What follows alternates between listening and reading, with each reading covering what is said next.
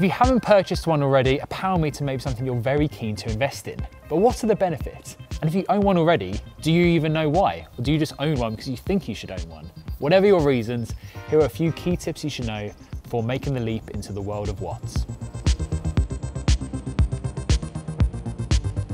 First things first, why do you actually need a power meter in the first place?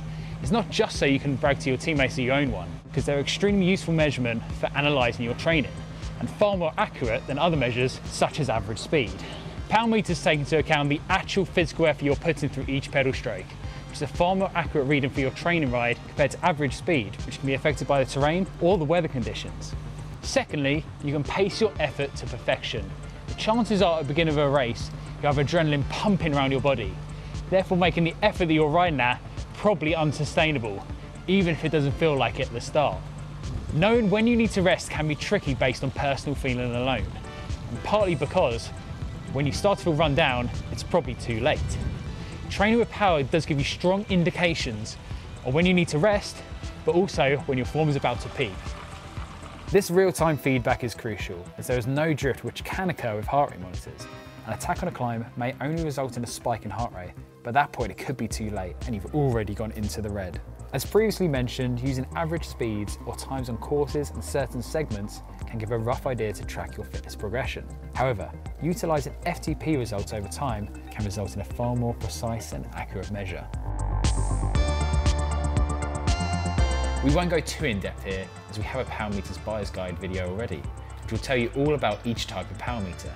But the three types come from the pedals, the hub and the crank, all of which have positives and negatives that will work best for you, your riding and your budget. So you're back from your ride, and what's the first thing that we all do? Upload our data, of course. However, when you're training and racing with power, the world of data is opened up to you with a plethora of numbers. Here's a quick breakdown of what each one means.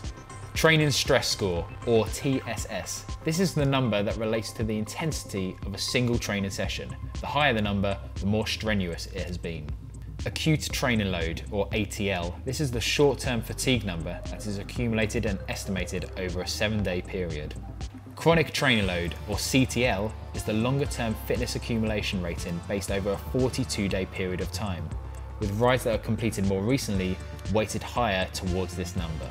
Training stress balance, or TSB, is the number that's the difference between CTL and ATL and addresses whether a rider may be approaching top form. When this number is positive, it indicates a good performance is approaching, following a decent block of training combined with low recent value of fatigue.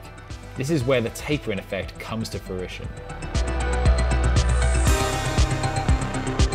So far, power meters may seem great. However, there are a few key mistakes that you need to know as it can trip up your training and make your training data completely useless.